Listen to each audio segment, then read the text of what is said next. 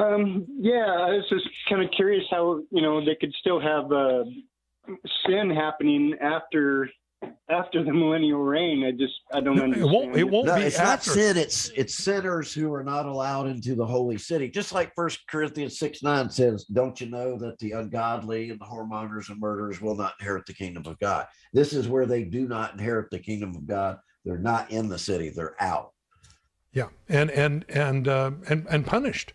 Uh, Yeah, there is there is no sin during the uh, New Jerusalem. That is not going to be there. Uh, we have a complete new nature. We have a brand new environment, brand new heaven, brand new earth. Uh, old things pass away. Behold, all things have become new. Uh, this is where where we're going to be forever. Uh, there will be sin, people sinning during the millennial reign of Christ, where Jesus reigns from Jerusalem. But that's why we rule and reign with him to make sure we don't see the, the world turn into what it is right now. All the politicians taking bribes, everybody's padding their wallets. You know, you you know, you got all this this bad stuff going on globally. And uh, that's not going to be the way it is during the millennial reign of Christ. I, I certainly, I certainly see the the need for that.